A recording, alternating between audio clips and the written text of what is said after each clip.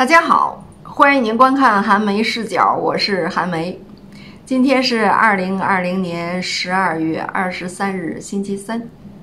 今天呢，有一个网友跟我留言说：“您说一说何山硕吧。”然后我：“琢磨着何山硕是谁啊？从来没有听说过啊。”然后在网上查了一下，出来这么一篇文章。这篇文章的题目是。美国日记二三六，何山硕，宁做美国鬼，不做中国人。然后我就一口气儿呢把这篇文章读完了。读完了以后，我就觉得我不白读，所以呢，我就是想呢把这篇文章读给大家听一听，您听一听，您会觉得不白听。好，这篇文章呢题目我刚才已经说了。然后呢，我是在知乎上看的，知乎上写的这个作者的名字呢叫变化，然后呢下面又写着说原创叫熊老六，所以原创可能是熊老六，这个变化呢是转载的。好，现在呢我就给您读一下这篇文章，很显然呢它是模仿这个芳芳的。芳芳不是写了一个武汉日记吗？那这位作者呢，就模仿那个芳芳，写了一个美国日记。我觉得写的特别好。好，现在开始。昨天，美国约翰斯霍普金斯大学公布的累计确诊数字为一千八百二十六万七千五百七十九人，累计死亡人数为。三十二万四千八百六十九人。今天，美国约翰斯霍普金斯大学公布的累计确诊数字为一千八百四十七万三千七百一十六人，累计死亡数字为三十二万六千七百七十二人。今天，美国白宫的朋友告诉我说。我的美国老朋友老唐，对安倍、莫迪和莫里森论功行赏，颁发了功绩勋章。这个功绩勋章分为四个等级：大指挥官级、指挥官级、军官级、军团成员级。这一次，老唐应该是川普了。唐纳德·川普，这一次老唐给安倍、莫迪和莫里森发的是最高级别的大指挥官级勋章。我想说，安倍、莫迪和莫里森努力了这么多年，终于获得了美国主子的官方认证和表扬。为了庆祝美国主子的肯定，日本应该拍部电影儿。叫忠犬安倍，印度应该拍部电影，叫跪舔吧莫迪，澳大利亚应该拍一部什么片子？对不起，我真不知道澳大利亚有什么著名的电影儿，还是让印度再拍一部《三狗大闹好莱坞》吧。另外，我觉得对特鲁多和约翰逊这两条狗太不公平了。他俩那么努力，却没有获得狗牌认证。今天，美国民主党的朋友告诉我说，拜登直播接种了辉瑞疫苗。我觉得，如果拜登没有出现面瘫、昏厥等不良症状的话，那么实在无法证明拜登接种的是真的辉瑞疫苗。美国连伊拉克的大规模杀伤性武器都可以造假，更何况是一个小小的疫苗呢？所以，拜登打假疫苗作秀的可能性非常大。不管大家信不信，反正我不相信拜登打了真的辉瑞疫苗。今天，美国国会山报的朋友告诉我说。我的美国朋友老唐的三十多万粉丝，要在拜登就职的一月二十日，为老唐在网上举办一场老唐第二次总统就职典礼线上活动。我觉得吧，老唐的粉丝真的是真爱粉。不过，为老唐在网上举行就职典礼有屁用啊？有本事为老唐再建一个美利坚啊！有本事再来一次东西战争，让老唐和拜登以密西西比河为界划江而治。你们共和党不是向党吗？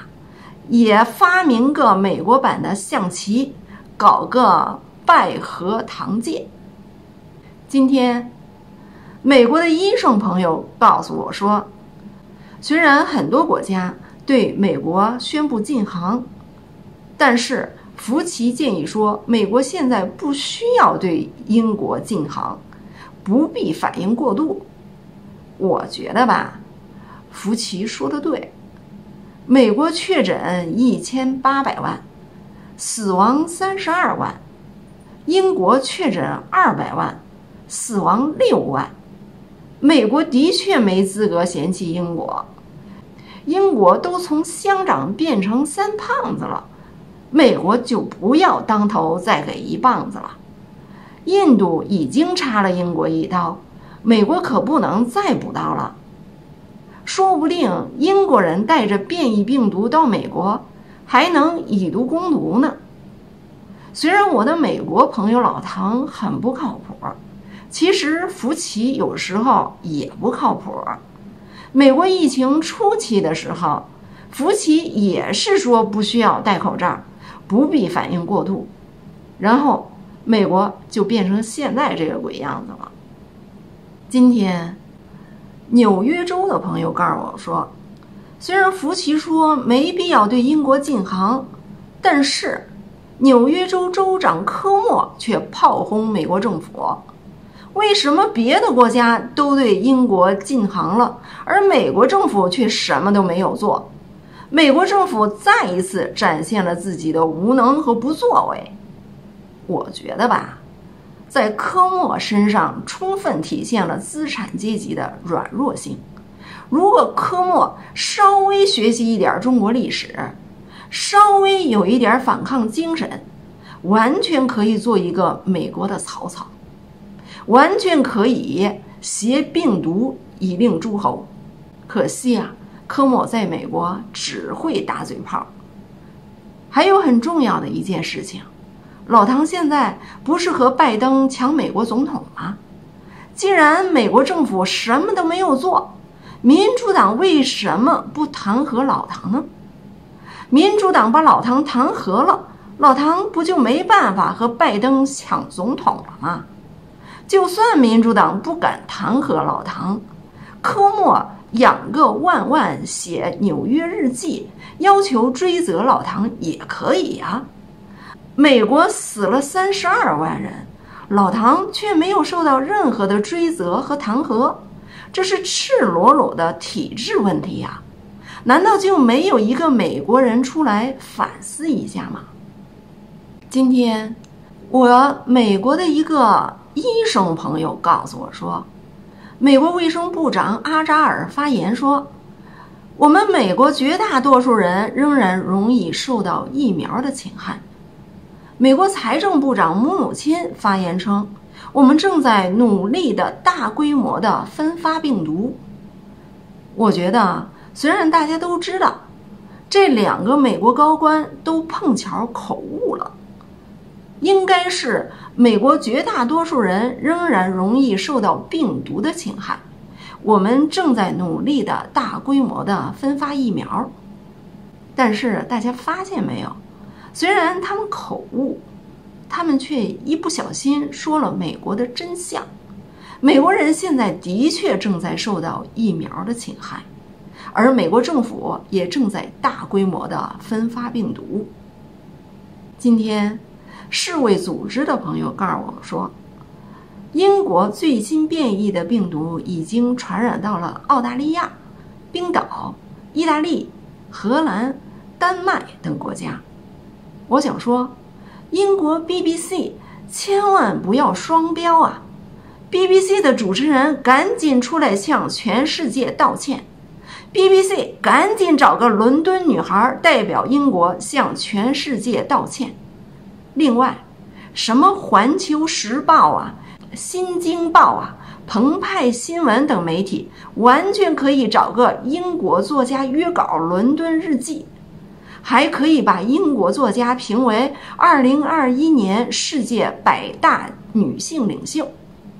今天，日本的朋友告诉我说，很多人都不知道安倍和菅义伟竟然都没有在日本的首相官邸居住，因为他们都觉得首相官邸里有鬼。我觉得吧，这件事情真的很好笑，可以简单的总结为，在靖国神策供奉了很多鬼的两位日本鬼子头目，竟然怕鬼。不是首相官邸有鬼，而是首相的心里有鬼。今天，关于美国肺炎和美国大选的情况，基本上就是这些。接下来，我们来聊一聊何山树。他的真名叫丁建强，是一位非常不著名的资深的老反贼。虽然他在美国的这么多年反华很努力，但是，在他死之前，大部分中国网友根本没有听过他的名字。没想到他死了以后，反而在中国火了。何山硕发了一条推文说：“我因肺炎咳嗽发热，到洛杉矶最大的医院急诊。”病情是高度疑似病毒感染者，所以立刻被送入了隔离区，深入到了抗疫第一线，亲眼看到了病区次序井然，隔离区的病房也是空余，所以纳闷儿这么多的病例的病人在哪里呀？发完这条推文没多久，何山硕就挂了。何山硕到死都没想明白，为什么美国确诊一千八百万人，死了三十二万人，他看到的隔离区的病房却是空余的，那么多病例的病人在哪里？我试着回答一下他这个问题。在美国，一般人如果确诊感染了美国肺炎病毒，医院。都不收治入院，都是劝病人回家自我隔离。病人如果在家自我康复了，那就康复了；如果病人在家病情加重了，非要住院的话，如果是有钱的白人，医院会想办法抢救。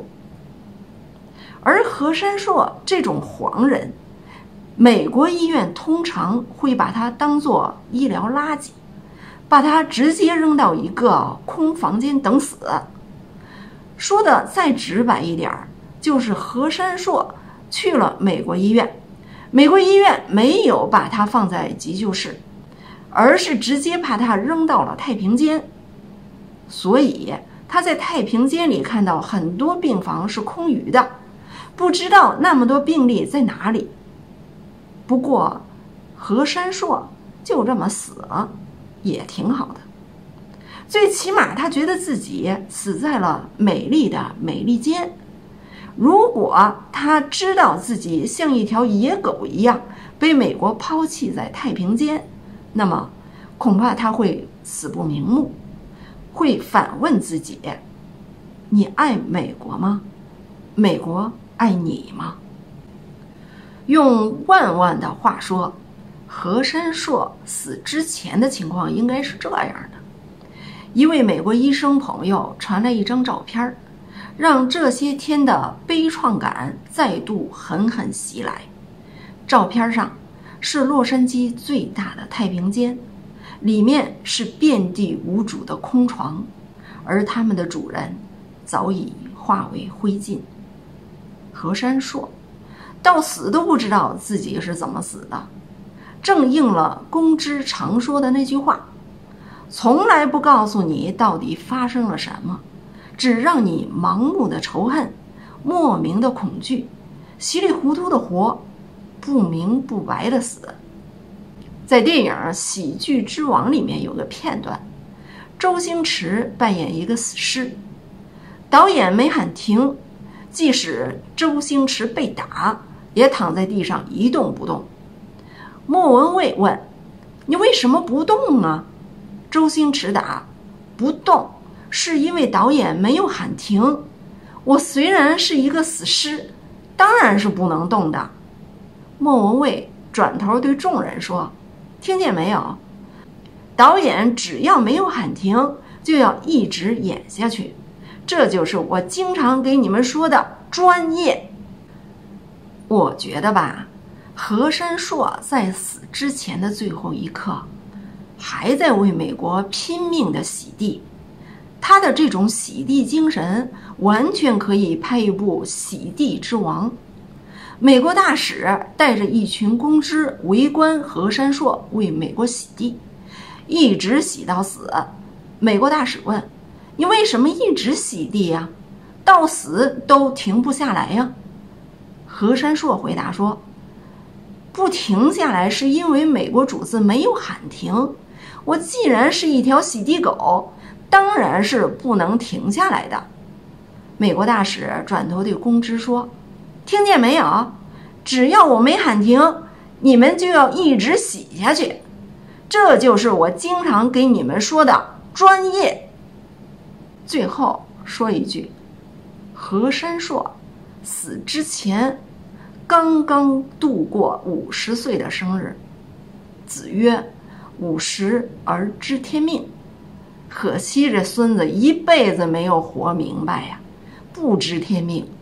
只知舔命，舔狗舔到最后一无所有，宁做美国鬼，不做中国人。今天美国累计死亡三十二万六千七百七十二人，不知道这里面有没有他？或许他在美国连个数字都不是。既然他到死都这么爱美国，那就祝他。干了这碗消毒水儿，来世还做美国人吧。全篇完，是不是没有白听啊？好，这个视频呢就跟您说到这里，感谢您的收看，下次再见。